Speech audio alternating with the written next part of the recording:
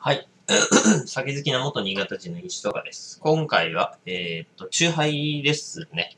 え、人狼の、えー焼酎ハイボール、グレープフルーツ味です。これ前も飲んだような気がするんですけど、なんかパッケージというかあれが見た目が変わってるんで、多分飲んだことあるような気がするんですけどね。えー果汁10%、アルコール度数8%、えー甘味料0、プリン体0。となってます。えー原材料名が醸造アルコールと焼酎とグレープフルーツ果汁と糖類と酸味料と香料と炭酸ガス。あ、やべ。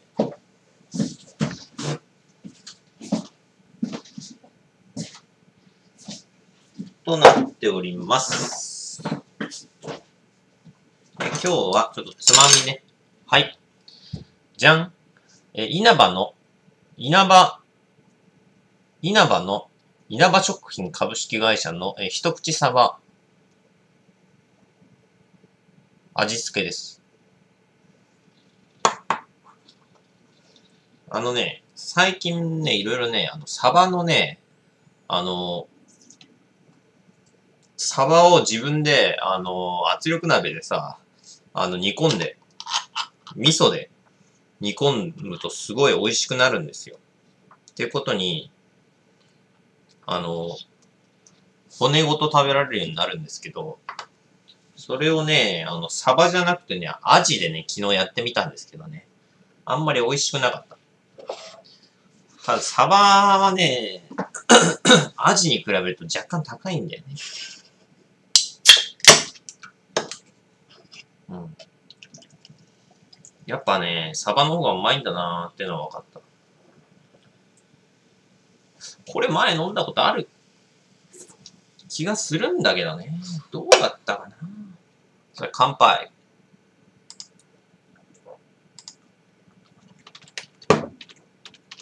銀炉。焼酎ハイボール。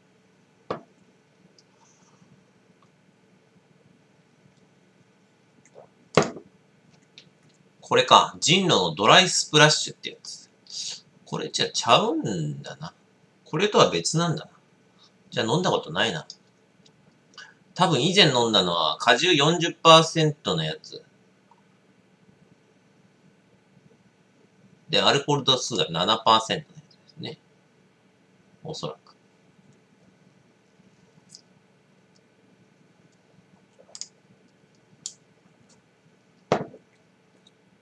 うん。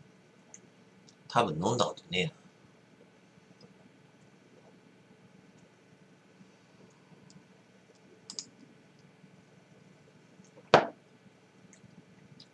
うん。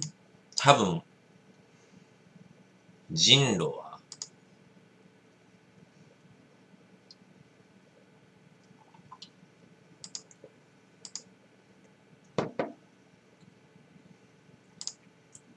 まだほとんど飲んだことない。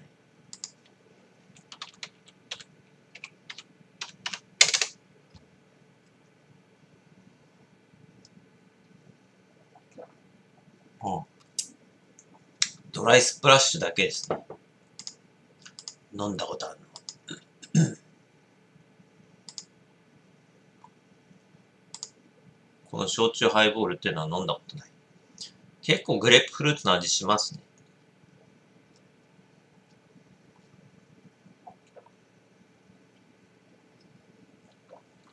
うん。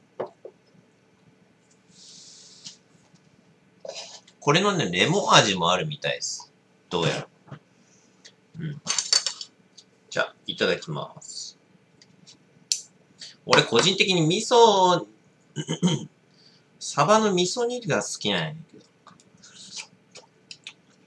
あ、うん。これも美味しい。うん。ああ、でも、うん。でもやっぱサバの味噌煮や、味噌煮が一番うまいな。うん。うん。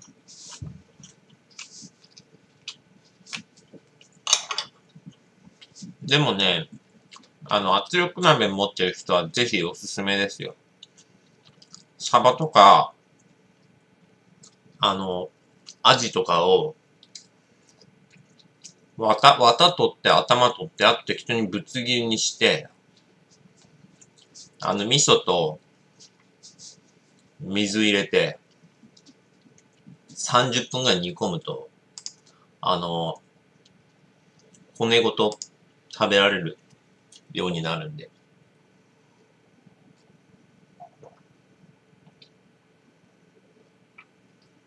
めっちゃ美味しいっす。うーん、なんか、なんか、変な味がするな、これな。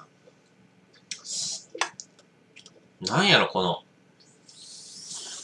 やっぱ人狼、うーん、の、なんか、人狼。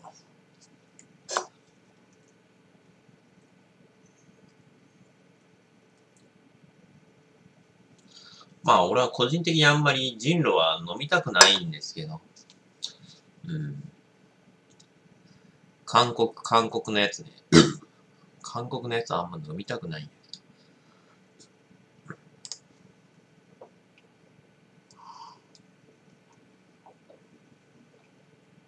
なんかね、グレープフルーツの味もするのは確かなんだけど、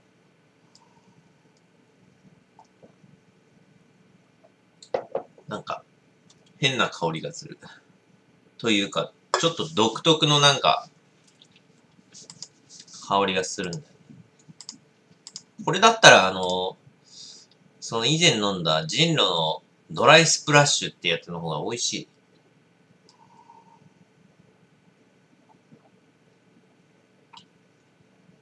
これは美味しかった。このドライスプラッシュってやつ。かなり美味しかった気がする。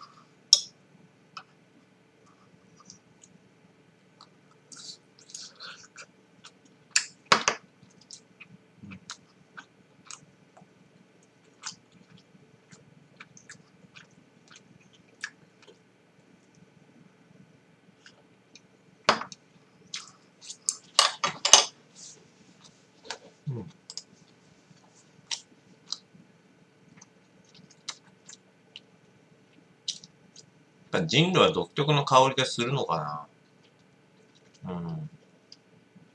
なんかで、うん。なんかで割ると、変な香りすんだよ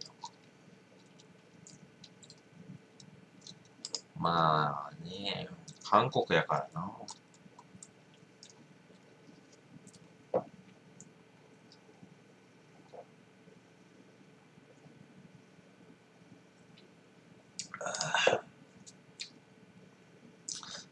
なんか微妙なんだよな。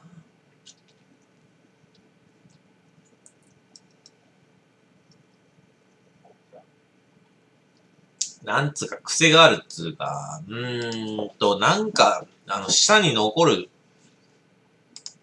味っつうのかな。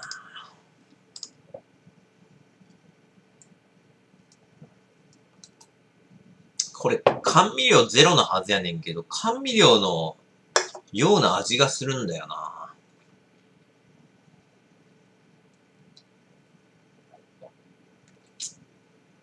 なんやろ。甘味料のような変な甘さというか、がするのはなぜだ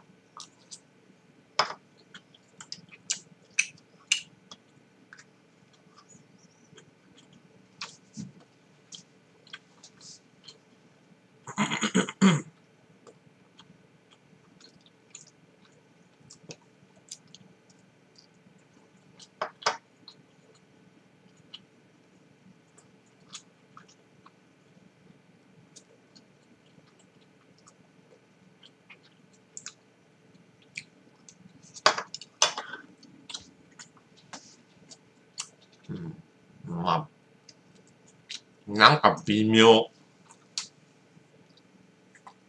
なんか甘味料の、ゼロのはずなんだけど、甘味料の味すんだよな。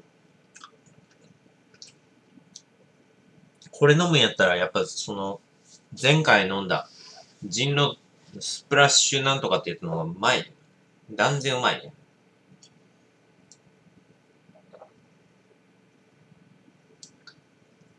なんやろな、この変な甘みな。このなんか、喉の奥と舌に残るんですよ。甘、甘みが、なんか。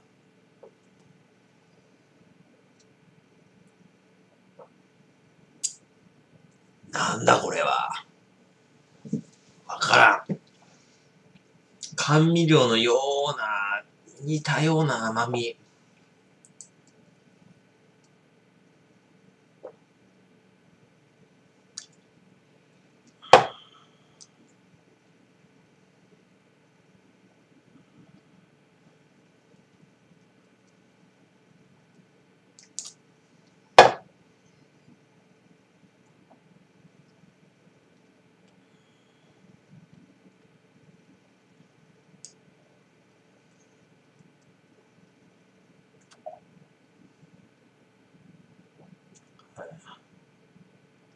あんまり美味しくないな。うん。結論。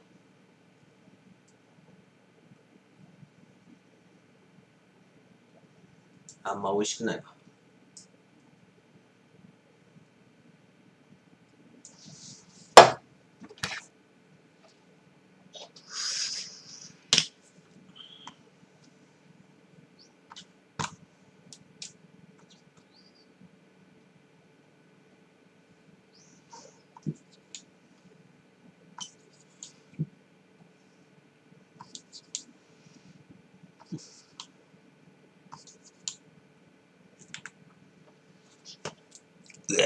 まずい。